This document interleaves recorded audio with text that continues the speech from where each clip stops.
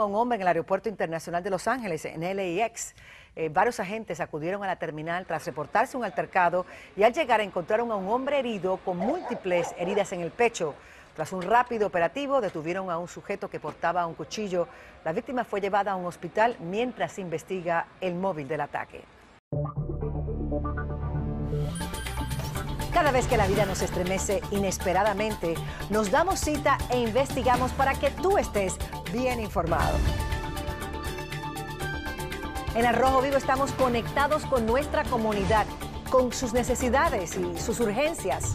A las 4, 3 Centro. Somos tu primer frente de información.